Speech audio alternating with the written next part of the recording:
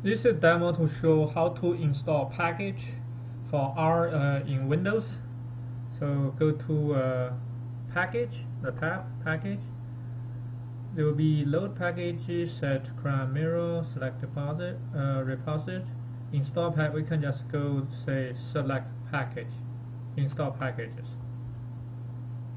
And then it will ask you select a mirror site and you pick mirror site that it's closer to you or at least internet speed is uh, faster, connection is faster. In my case, I will pick uh,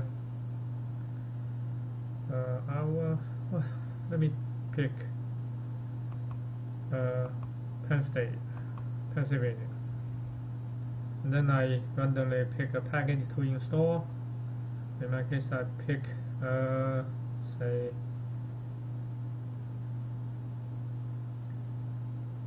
APE.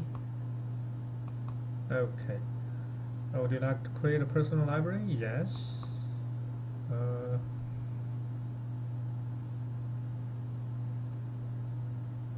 Alright, and how do we know whether the package is stored? We type library APE. Yes, it is there. And we can also see the help page of this help APE.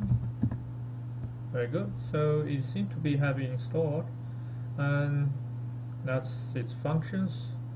And we can even uh, click one of the functions, let's say balance.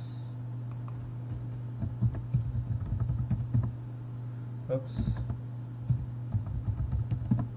Oh yes, balance. Uh, yes, this is a package uh, from package APE. The usage, the phylogeny. Uh, there's no sample code. Uh, I need to find one with a sample code. Uh, nj, uh, let's say neighbor join, huh, neighbor join tree, okay, this one has an example, example nj, okay, and so package APE has been installed.